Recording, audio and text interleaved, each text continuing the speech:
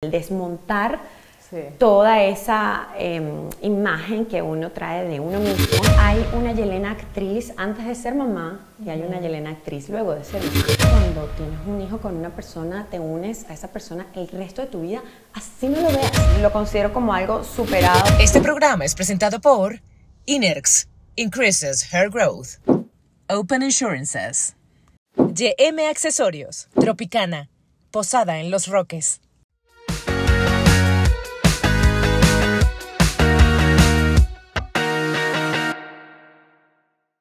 Gracias por estar con nosotros, gracias por seguir apoyando el canal de YouTube, gracias por seguir comentando cosas lindas que como siempre digo vienen del corazón, así las recibimos. Seguimos grabando alrededor del mundo, retomando Ciudad de México en esta oportunidad con una mujer preciosa, no solamente por fuera, sino por dentro, a quien la tengo persiguiendo unos meses, pero es que eh, la labor más importante de su vida, la de ser madre, le quita muchísimo tiempo.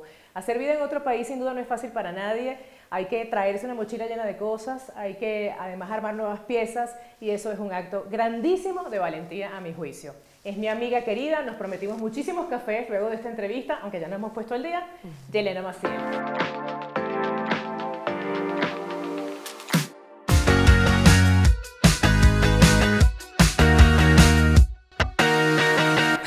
¿Cómo estás? Mi amor, ¿cómo estás? Gracias por la invitación. por, venir, fin, por fin. Mira, me decías que tú eres gocha, sí. de ascendencia, eh, pues bueno, de los Andes venezolanos, para quienes no lo saben. No sabía eso de ti, Elena. Yo hubiese jurado que eras súper europea, de un papá portugués o un abuelo italiano. Muchísima gente me lo pregunta siempre. Como que tú tienes familia alemana, española, no, merideña, 100% merideña. Toda la familia por parte de, mi mamá es de Mérida y por parte de mi papá de Caracas.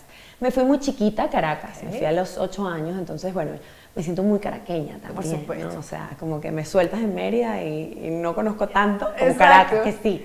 Pero sí, 100% merideña. Y de esa, de esa forma de ser de, de, la persona de montaña, del andino, ¿qué tienes?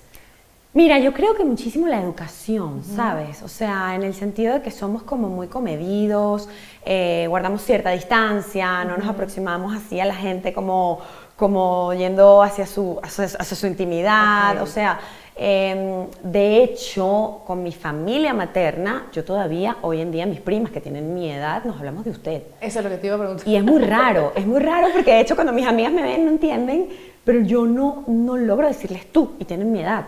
Entonces, ay, ¿usted cómo está? Pero hablando con caraqueña. Qué bonito. Entonces, sí, yo creo que conservo mucho eso. Mi mamá es muy así, mi abuela era muy así, y eso es algo que, que, que llevo conmigo yo creo que no lo he perdido ni un poquito. Puedo decir que es así porque en la medida que estuve como, bueno, tratando de lograr esta entrevista, siempre fuiste muy cercana, muy educada, muy linda, eh, con bonitas palabras. Yo no sé, no estoy tan segura que a lo mejor eh, gente tan joven como tú pues aprecie tanto eh, el tiempo de los demás. probablemente es porque vienes de esta industria, probablemente es porque vienes de este negocio. Sí, ¿Cuándo comienzas en este negocio? Mira, yo empecé a estudiar actuación cuando tenía 10 años. O sea, desde chiquita yo sabía que yo quería ser actriz. Era lo único que me gustaba, era por lo que vivía y era, bueno, de estas niñas que se encierran en su cuarto, armar un personaje y a jugar sin entender muy bien qué era lo que estaba haciendo, pero a jugar a ser actriz. Eh, cuando llego a Caracas con mi maleta llena de sueños, mi mamá, muy responsablemente, eh, escogió como el mejor camino que fue empezar a buscar academias, empezar a buscar cómo formarme. O sea, ella no se fue como directo a buscar este, agencias ni nada, sino dónde empezar a estudiar. Y empecé a estudiar con Ralph Kinner eh, a los 10 años. Cuando ya tenía 3 años estudiando con Ralph, él un día me dice, mira, hay un casting en Radio Caracas Televisión para un personaje, eh, les falta una de las tres hijas del protagonista, de Carlos Montilla, una novela que se llamaba Trapos Íntimos. Y bueno, fui a hacer mi primer casting, pasé mi primer filtro y ya luego hice el segundo casting y pues ahí quedé, que, que yo digo que en parte un poco los actores venezolanos eh, que, que, empezamos en la industria en esa época no tenemos tanto como el fogueo del, del, casting, porque por ejemplo yo hice ese casting y ya entré en nómina en Radio Caracas hasta los 19 años. O sea, siempre era esperar qué personaje viene y era una maravilla, ¿no? Trabajar así. Em, pero bueno, así fue como... Te acogía mucho la, la, industria, los canales de televisión. ¿Crees que eso, cuando ahora estás en México y que pues te toca seguir eh, buscando ese sueño de lo que tanto te apasione, para lo que además eres súper talentosa. ¿Crees que parte de esa forma orgánica, empírica nuestra, sin criticarla, ¿no? Porque a mí me pasó igualito, ¿no? Eh, yo creo que peor aún porque venía de un concurso de belleza, ¿no?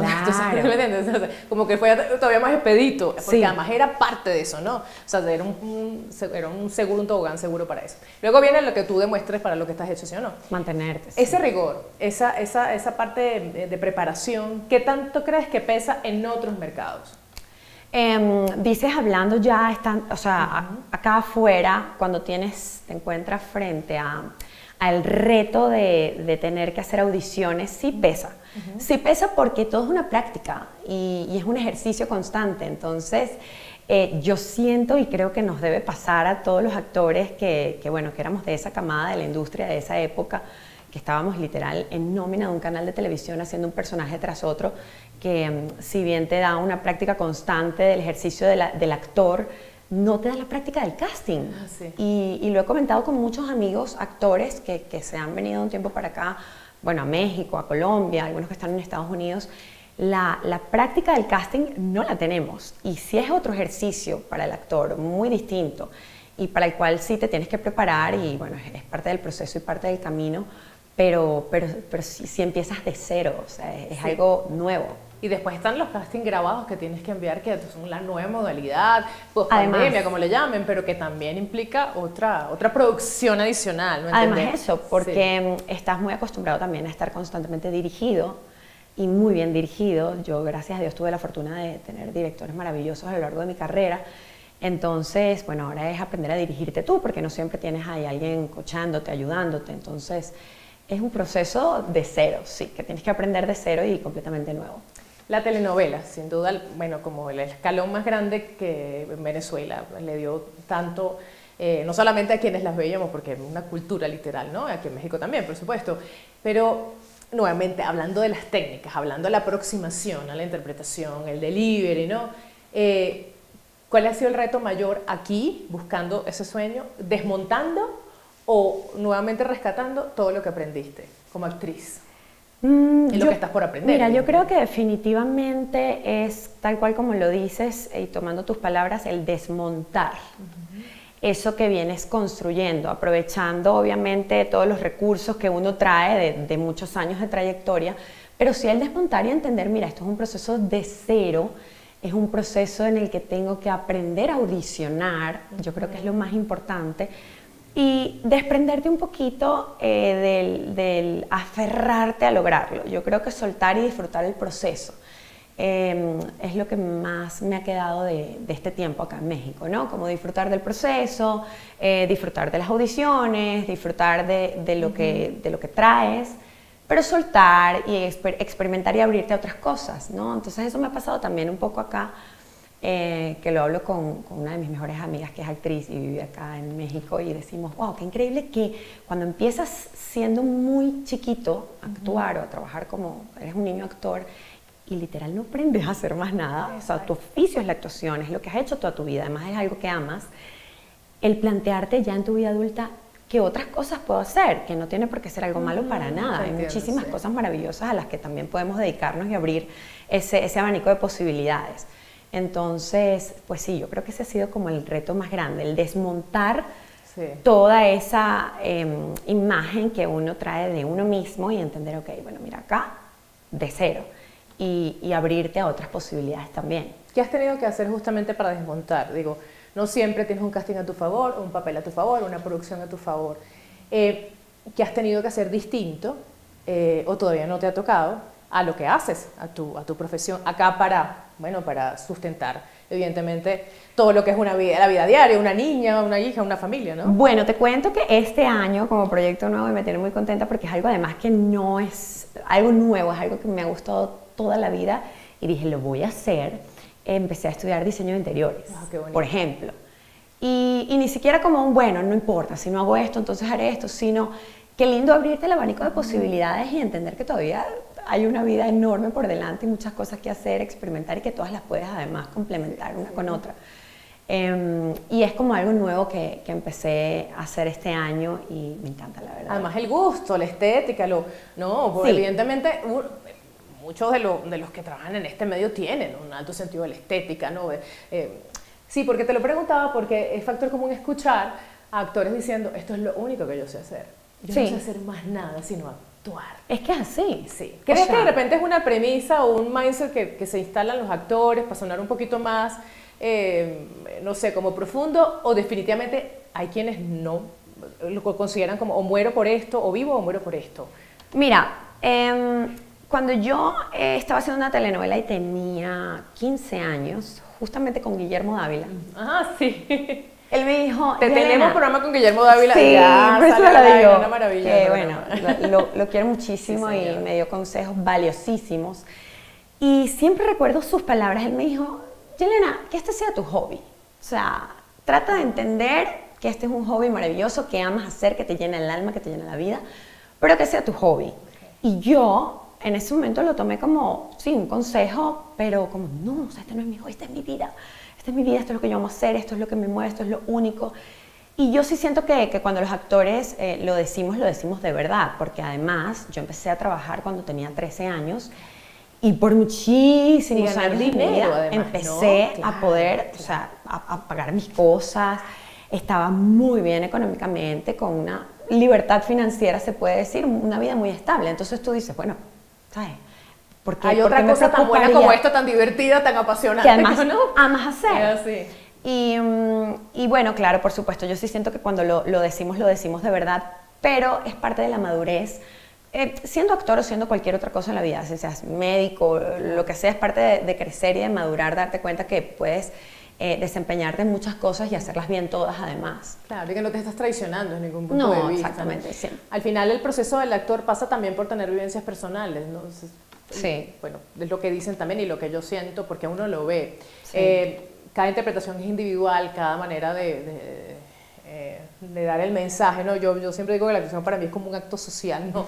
Es un acto social, es evidentemente poner a alguien a reflexionar sobre su vida, a pensar, eh, no importa cuál sea el género, es, de lo maravilloso que tiene, que tiene la actuación, ¿no? El cine y todo, y bueno, ahora todas las plataformas, etcétera. Pero sí, sí creo que también hay que experimentar para poder tú entregarle a ese personaje. O sea, tú te tienes que formar como persona para entonces ser ese actor que también va a evolucionar.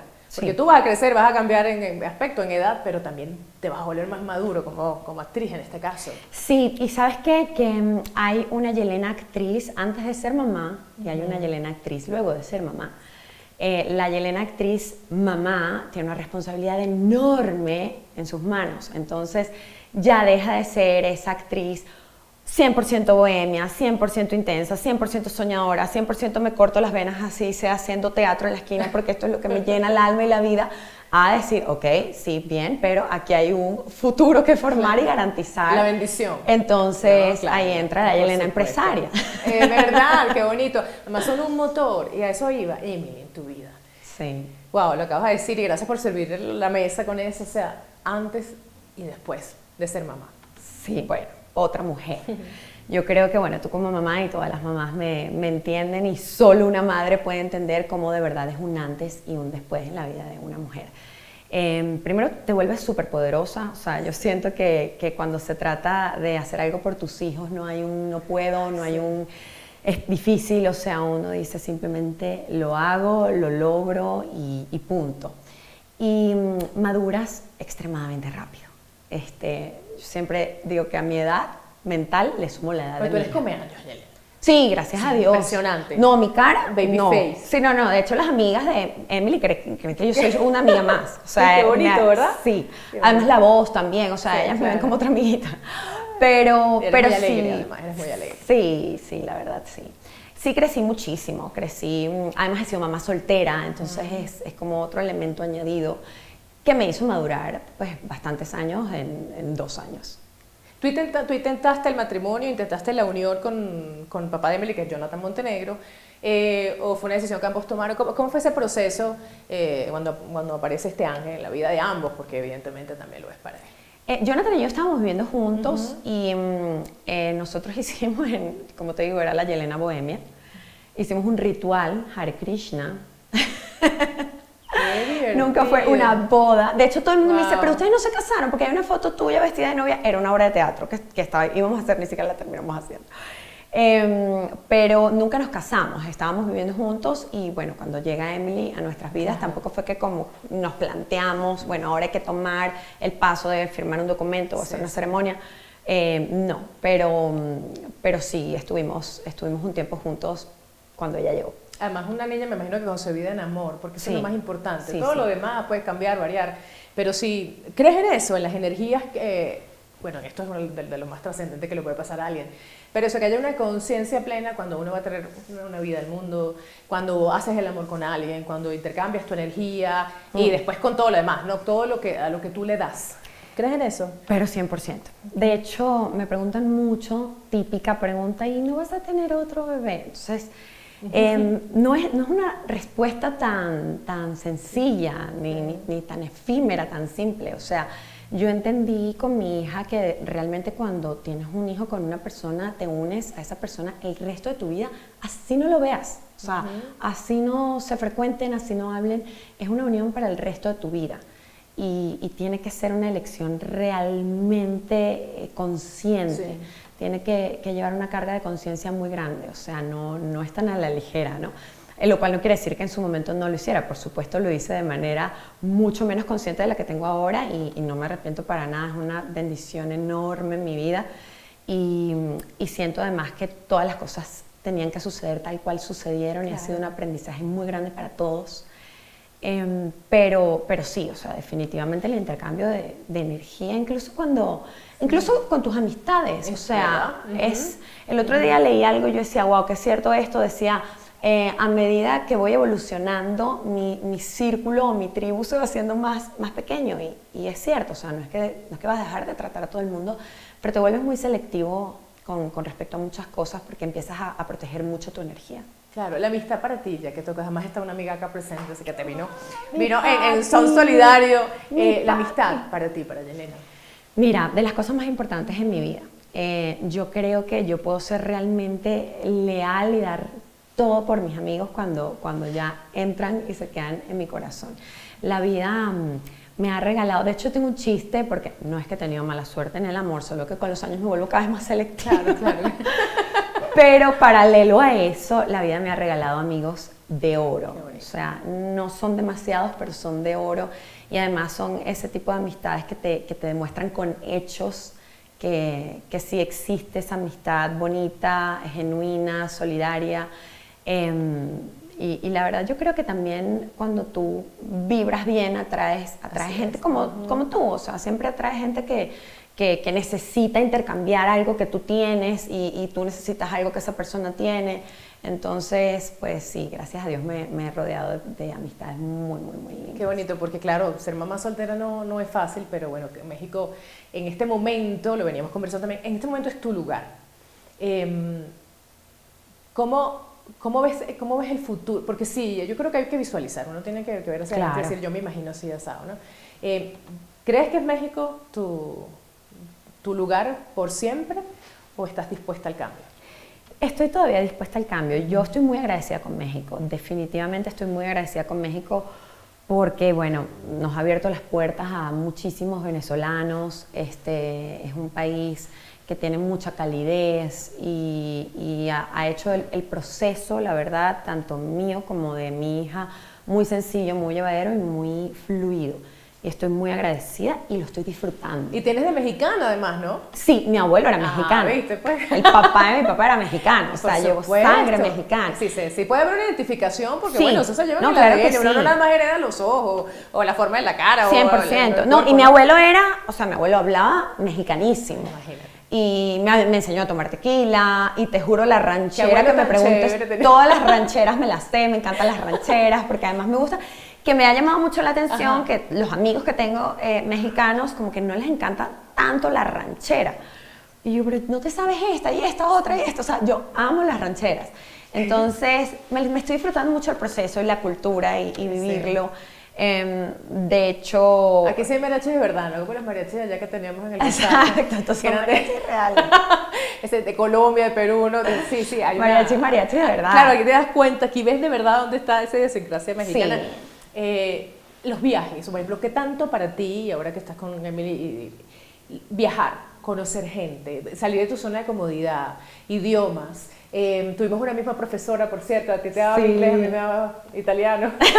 Nos encantaba. Ajá, es- eso es, o sea, como que no quedarte con la fórmula que funciona, aunque dicen que parte del éxito es, es como repetir la fórmula, pero con la- con- cuando todavía tienes como esa, como esa angustia vital, como que no, mm, no soy producto terminado. Es que tú sabes que yo creo que a mí me pasa mucho eso y en parte se lo atribuyo un poco a que fui mamá muy joven. Entonces, ahora estoy viendo a mi hija ya grande, un poquito más independiente, la puedo soltar un poquito más en algunos aspectos y eso hace que mi hambre de querer vivir muchas cosas también se despierte un poquito. Viajo mucho con ella, eso sí, y lo disfrutamos. Se fueron no a Disney hace poco y bueno, celebró su Sí, cumpleaños, ¿no? Sí, Ajá. sí, o sea, siempre trato de hacer un viaje, al menos uno al año ella y yo. Sí, sí. Me llevo viaje por su cumpleaños. Este, hace poco hice un viaje con mis amigas y fue lo más. Yo creo que no tenía un viaje, no sé, un viaje así con amigas desde muy chiquita. Yo creo que desde antes de ser mamá y fue liberador. ¿No Entonces, sentiste culpa? Las mamás sentimos mucho culpa cuando a veces dejamos a nuestros hijos para ir a disfrutar. Mira, de hecho, esto era un tema que hace poquito hablaba con mis amigas, el tema de la culpa al salir. Esto fue algo que yo literal traté en terapia. Porque yo decía, no puede ser que yo voy a cenar y me siento mal.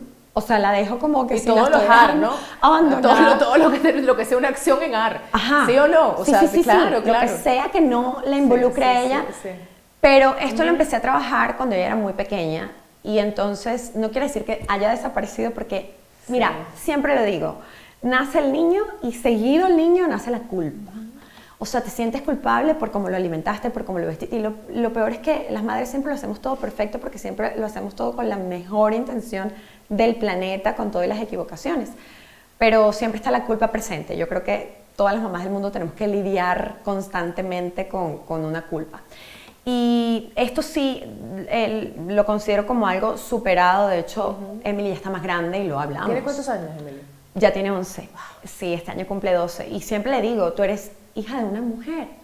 O sea, eh, tienes tu mamá que te ama, te adora, que da la vida por ti, que ha hecho todo, absolutamente todo para que tú estés bien, pero también es una mujer. supuesto. Es una mujer que quiere vivir, es una mujer que tiene sus propios deseos, sus propias aspiraciones, sus, su, su vida, aparte de ser tu mamá. Y es un tema que tratamos, porque además como ha sido una niña que siempre ha estado rodeada de muchos adultos, es una niña con la que se puede hablar mucho. Sí, muy madura. Sí, muy madura. Me entiende mucho y, y tocamos muchos temas. Me parece además súper bonito poder conversar así Qué con, bonito. con tu hija. Me decía mi hija hace poco, tuvimos una discusión, bueno, discusión, o sea, un desacuerdo, y me dijo, es que tu peor miedo es no ser una buena mamá. Y yo le dije, sí, Claro. sí, pero ellos lo identifican y es por eso que uno tiene que trabajárselo uno, porque no- ellos no te están viendo así, tú eres la que le estás proyectando así. Claro. También entrevistaba a Judy Castillo y me decía, eh, para poder ser mamá, esposa, eh, pareja, profesional, primero tienes que ser hembra. Sí. ¿Qué tanta conexión estás con tu hembra? Porque en esta cosa de la igualdad de géneros, eh, eh, como que, ¿no? Eh, eh, lo de hembra es muy primitivo, me, me- me- me desvalido porque yo no soy un objeto sexual, eh, etcétera. ¿Qué tanto tienes tu hembra, pero la hembra primitiva, presente? Esto es otra cosa que he trabajado muchísimo eh, conmigo y en mí, porque justamente el tener que mm, solucionar muchas cosas sola, constantemente, me ha hecho eh, reprimir ese, no, tranquila, no me ayudes, no, yo puedo, yo puedo, yo puedo, yo puedo. Y llegó un punto de mi vida que dije, no, sí, estoy muy bien sola, estoy muy bien sola, he logrado tener una vida realmente plena y feliz sola y definitivamente si va a llegar alguien a mi vida, tiene que complementar esa parte hombre, porque, porque ahora me siento muy mujer. O sea, quiero ser muy mujer, muy atendida, muy consentida, muy que, o sea, ah, literal, no, no quiero hacer nada porque yo soy la mujer, ¿entiendes? Y, y eso me, me- me- me ha llevado a concientizarlo justamente tener que resolver muchas cosas que quizás le corresponden al hombre.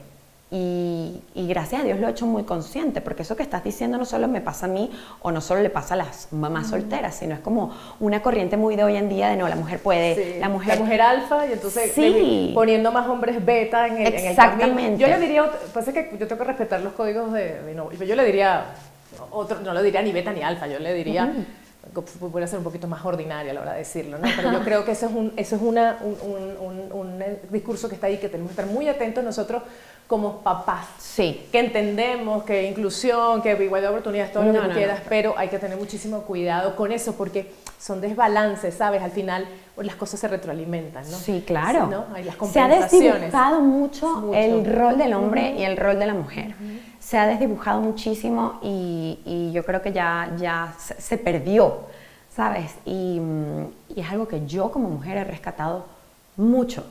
Y por eso también te vas volviendo como muy selectiva, como muy exigente, como muy porque dices, no, o sea, tienes que ser, y además soy mamá de una niña, o sea, lo que yo tengo que modelarle como pareja es lo que yo quiero que ella Y está sola con ella porque su papá no vive con ella y esas referencias también que esperemos las tenga, eh, bueno, con cierta frecuencia, pero no es su diario. Claro. Que, como siempre digo, no importa el tipo de familia que tú tengas, siempre eh, que, que, haya como el valor, ¿no? Y con por mucho menos eh, palabras y más actos. Y definitivamente aprenden es por, lo, por los hechos, más que por lo que uno les dice, ¿no? Sí, sí, sí. Em, lo del amor te pregunto, porque es importantísimo el amor, tener una pareja que te que te llene. ¿Qué no harías? ¿A quién no meterías en tu casa? Por Emily, aunque estuvieras profundamente enamorada. ¿Qué características tendría que tener esa persona? No voy a hablar de qué buena, sino qué sería para ti una red flag. Para incluso estando muy enamorada, muy hembra, no, por Emily no. Em, por Emily y, en consecuencia por mí, o viceversa, que no me cuiden. Para mí el amor en, todo, en toda su expresión es cuidar. Lo que amas, lo cuidas. Y lo cuidas con todo. Cuando amas algo, lo, proteges, lo cuidas con, todo lo que esa palabra representa y significa. Entonces, em, cuando me doy cuenta que no me cuidan, o sea, ya eso para mí es un, no negociable, o sea, eh, de una vez. Qué bonito. Ahora, en el plano de, la actuación, em, ¿Qué crees, ¿Qué crees que falta por hacer? Me diste la audición, evidentemente el, el casting ya has interiorizado eso a nivel personal. Em, ¿Qué crees, qué más vale la pena hacer para que tú sientas que este capítulo en México, eh, eh, sea cuanto tenga que durar, valga la pena? Y si le tienes que decir adiós, hayas hecho todo para buscar ese sueño aquí. Mira, creo que México, como todas las grandes industrias del mundo, eh, es súper, súper, súper importante el networking, relacionarte muchísimo. Y yo soy como muy de mi casa, ¿sabes?